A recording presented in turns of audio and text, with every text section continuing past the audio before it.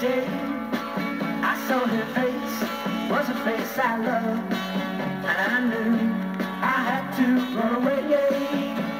And get down on my knees and pray That they'd go right, but still they began.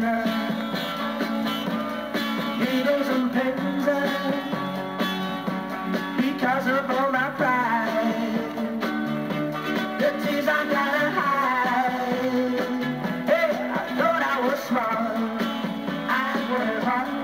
didn't think I'd do. But now I see she's worse to him than me. Let her go ahead.